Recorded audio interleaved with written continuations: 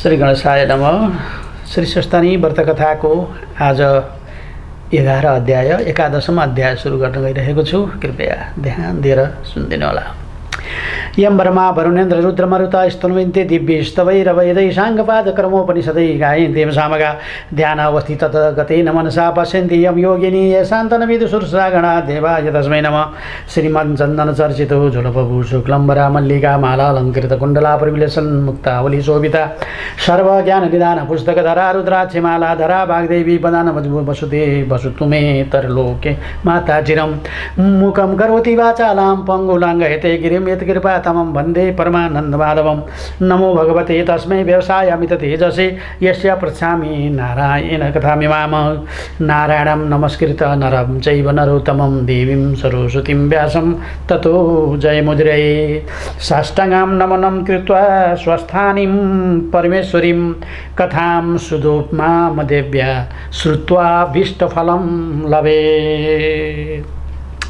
अथ एकादशम अध्याय कुमारजी आज्ञा गर्नुहुन्छ हे अगस्त्य मुनि त्यहाँ उपरान्त सतीदेवीको सम्पूर्ण अङ्ग पतन भएपछि श्रीमाधवले चित्त दृढ गर्न सके।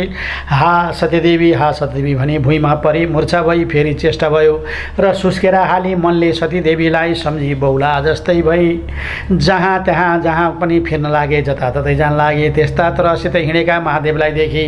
ताराका सुरदैत्यले आफ्ना मन्त्री छेउ भन्यो हे मन्त्री सतीदेवी मर्नाले महादेव जहीँ तहीँ घुमी हिँड्छन् यसै अवसरमा देवताहरूसित युद्ध गरी इन्द्रको अमरावती जितिलियौँ अब हामीलाई को के गर्न सक्ला र ताराका सुरले जाउँ भने सबै जुजती भएका हात्ती घोडा सेनाहरू अघि लगाई मन्त्री समेत भई लडाइँ गर्न भनी अमरावतीमा गए। तब इन्द्र डराई हे देवता अब यहाँ नबसौँ किनभने ताराका सुर दैत्यलाई महादेवले वरदान दिनुभएको छ। त्यसलाई युद्ध गरी जित्न कोसक्ला भागौँ भनी स्वर्गदेखि भागी मृगस्थलीमा आई बसिरहे।